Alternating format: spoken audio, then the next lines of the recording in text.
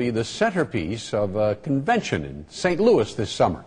ABC7's Frank Mathie has details.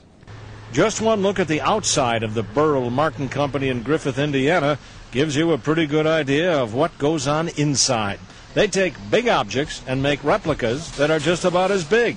The project they're working on now is still in many different pieces, but when it's assembled, it will be the Statue of Liberty. She's 130 feet and she's about 50,000 pounds. And made of? Made of foam.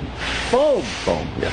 You just carve her out of foam? The guys carve her out and spray her with plastic and she's good to go. It's something like styrofoam, but it's very strong and easy to carve into almost anything. The real Statue of Liberty was a gift from the people of France. This duplicate is a gift from a company called YTB of Wood River, Illinois. It's an internet travel agency business, and at their convention this August in the St. Louis Dome, Lady Liberty will be the star attraction. It will be a dramatic opening to our convention.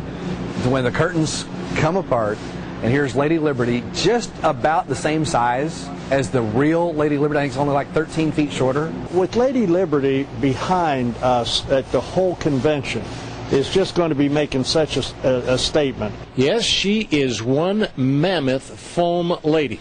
For instance, up here, that's part of her left hand that will hold the book.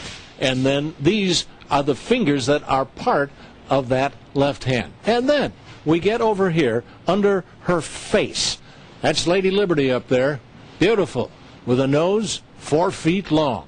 Extremely accurate, all the way down to the fingernails, the eyes, the hair. She will be painted three times to match the real Statue of Liberty. Then in July, she will be loaded into 48 semis and head to St. Louis to stand tall. Frank Mathie, ABC 7 News.